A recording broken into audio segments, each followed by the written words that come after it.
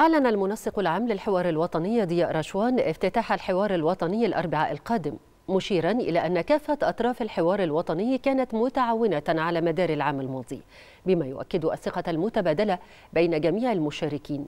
أكد المنسق العام للحوار الوطني عدم وجود خطوط حمراء في الحوار الوطني لافتا إلى أن اختيار مجلس الأمناء يعكس تمثيل المجتمع المصري كما يعكس التوازن مشيرا إلى عدم إصدار أي قوى سياسية أو حزبية بيانا حول رفض الاشتراك في الحوار